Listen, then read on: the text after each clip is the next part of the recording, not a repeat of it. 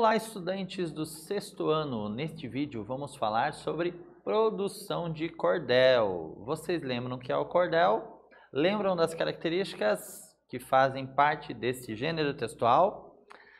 Esqueceram? Ah, então vamos retomar algumas informações e então produzirmos aí um cordel, certo? Vamos lá então juntos. Bom, primeiramente vamos conferir alguns elementos que são necessários então à produção de um cordel, né? Então esses itens não podem faltar. Primeiramente, vamos lembrar um pouquinho da parte estrutural, né?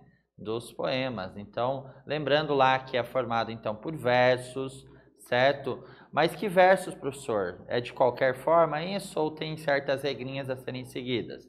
Obviamente é diferente dos poemas que nós fazemos no nosso dia a dia. Né? Então o cordel ele tem suas características né, muito próprias. Né?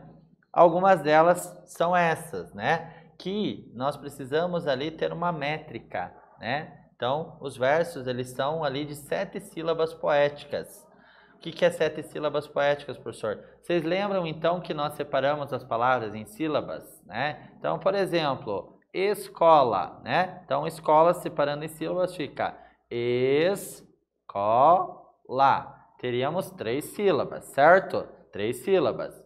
Porém, sílabas poéticas não é só simplesmente separar em sílabas as palavras, né? Se a palavra lá no final ela tiver a última sílaba fraca, eu não conto a última sílaba, eu conto até a última sílaba mais forte, que eu conto e chamo de sílaba tônica, tá? Então sempre eu uso a contagem de sílabas é, observando ali se eu tenho a sílaba forte como a última e ali eu tenho que ter então sete sílabas poéticas, certo?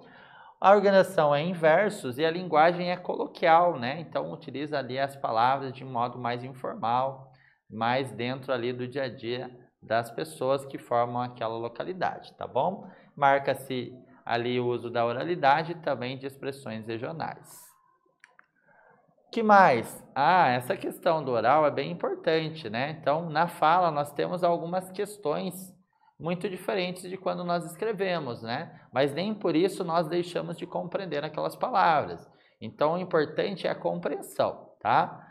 Em algumas situações, eu tenho essa licença poética, digamos assim, de utilizarmos algumas expressões ali que fogem da norma padrão, tá?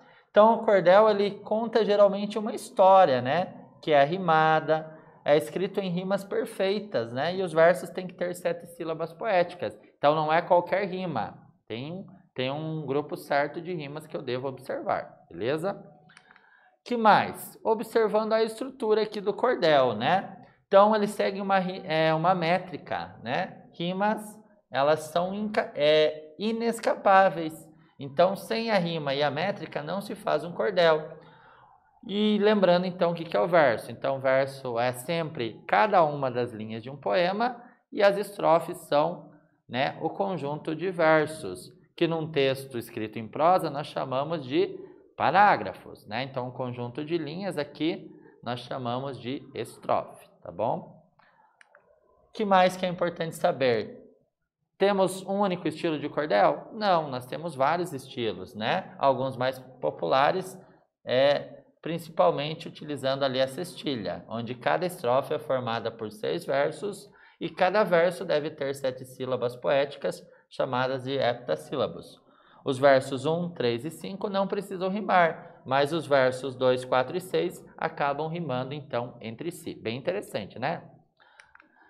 E o tema então da nossa produção aqui, acompanhe, é o lugar onde eu moro, você vai falar sobre a sua região, sua cidade, enfim, seu bairro, características, suas emoções, sentimentos, fatos curiosos, festas regionais, enfim. Siga, né? Transcreva isso e coloque isso disposto em duas estrofes. Não esqueça de utilizar as rimas. E também acesse então a plataforma Redação Paraná, né? redação.pr.gov.br e assim você vai produzir lá a sua, né, é, seu texto de cordel e aí o seu professor poderá avaliar. Perfeito? Muito bem, então. Então, neste vídeo falamos sobre produção de cordel. Espero que vocês tenham gostado. Até breve.